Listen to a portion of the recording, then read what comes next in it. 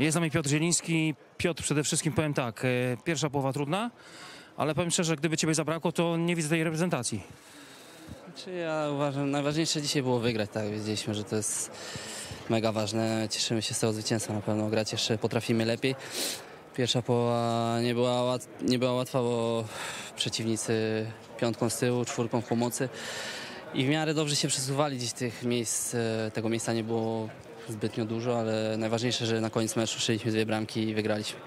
Tego zwycięstwa potrzebowaliście przed wyjazdem do Albanii, takiego momentu, który da wam e, oddech przed tym bardzo ważnym spotkaniem. Na pewno zwycięstwa potrzebowaliśmy i cieszy to, tak?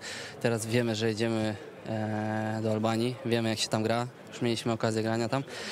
E, atmosfera gorąca, na pewno zawodnicy też z Albanii są na, na, na, na wysokim poziomie, będzie to fajny mecz i mam nadzieję, że tak jak to było, nie wiem, czy rok, czy dwa lata temu, zwyciężymy to spotkanie. Co wam powiedział w przerwie trener Santos? No bo jednak było do, do przerwy 0-0.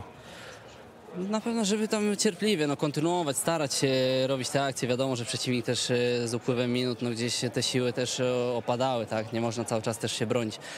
I później jakieś tam luki się pojawiły, no udało się strzelić te dwie bramki i, i to na plus na pewno. E, poprawiliśmy dwie, trzy rzeczy i, i, i lepiej to wyglądało w drugiej połowie. Czyli widzisz postęp.